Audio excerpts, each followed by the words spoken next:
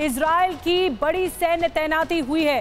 Lebanon border पर यह तैनाती बढ़ाई गई है। इसराइल ने एक स्टेप आगे बढ़ाते हुए तैनाती बढ़ाई है। और आपको बता दें कि यूएस ने जंग में एंट्री का ऐलान भी कर दिया है।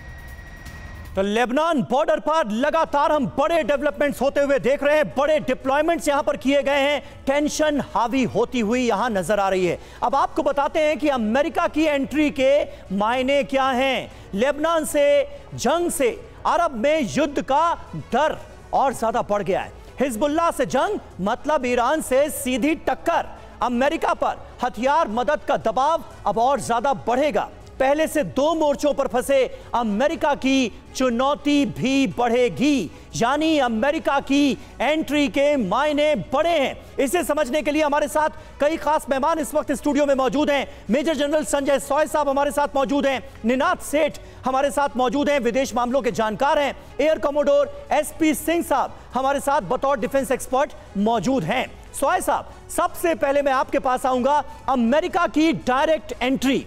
ये जो खबर हमने आपको दिखाई है, इस वक्त हमारे दर्शकों को दिखाई है, उसके सबसे बड़े मायने आपको क्या नज़र आते हैं आने वाले वक्त में, खास तौर पर लेबनान बॉर्डर पर क्या होते हुए हम देख रहे हैं?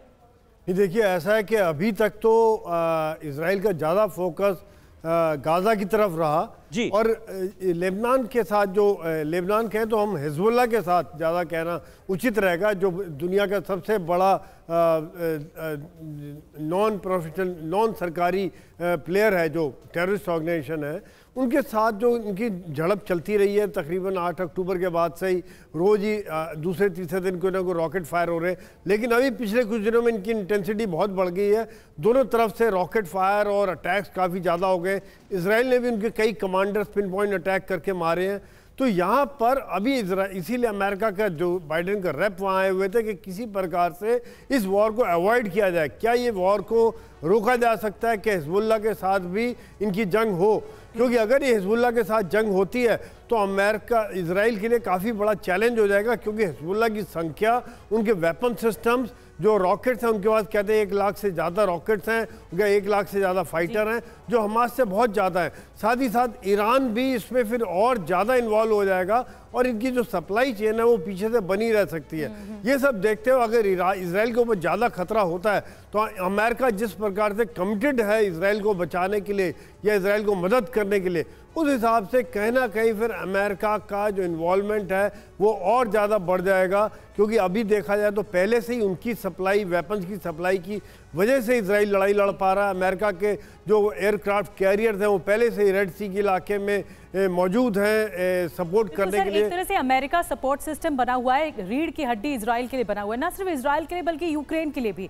हथियार सप्लाई करना अब वो चुनौती भी बढ़ जाएगी। सुमित हमारे साथ सुमित चौधरी भी जुड़े हुए हैं डिफेंस एडिटर। सुमित आप कितना बड़ा चैलेंज देखते हैं अमेरिका के लिए? क्योंकि पहले ही दो मोर्चों पर जंग लड़ी जा रही है। अमेरिका का इनडायरेक्ट डायरेक्ट कहीं ना कहीं सपोर्ट है। अब लेबनान जो क्योंकि जानता है अमेरिका की ईरान का सपोर्ट है लेबनान को, यहाँ पर भी घेरेबंदी तेज हो गई है।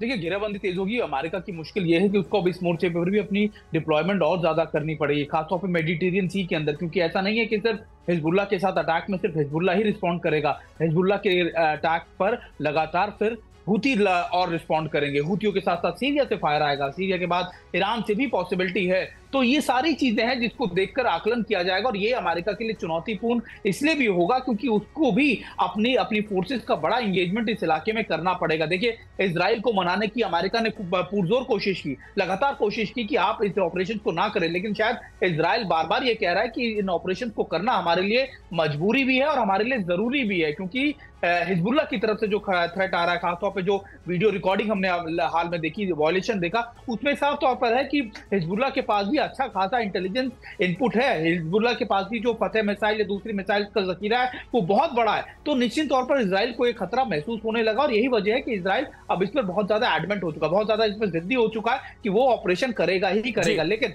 अमेरिका को ये बड़ा खतरा लग रहा है कि ना सिर्फ़ इससे अटैक जो होगा वो बढ़ेगा बल्कि साइप्रस जैसी कंट्री पर भी अटैक होने की संभावनाओं को लगातार कहा जा रहा है। तो ये निश्चित तौर पर एक बड़ा आप कह सकते हैं कि एक एक बड़ा एंगेजमेंट होगा अमेरिका के लिए या फिर एक अमेरिका के लिए एक बड़ी बिल्कुल आप सही कह रहे हैं बड़े एंगेजमेंट की आशंका और ज़्यादा प्रबल होती हुई नज़र आ रही है।